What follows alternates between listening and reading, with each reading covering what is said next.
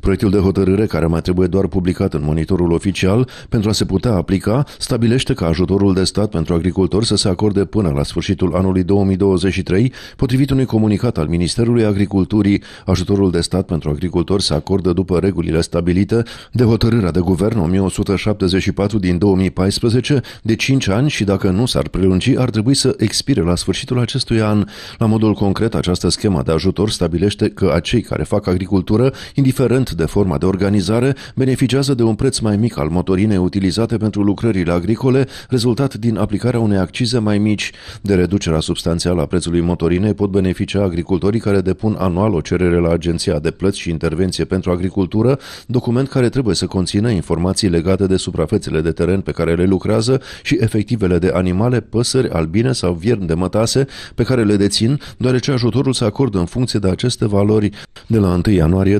2020 s-a renunțat la supraacciza aplicată combustibililor vânduți în țara noastră, introdusă în 2017, ceea ce teoretic înseamnă prețuri mai mici la carburanți.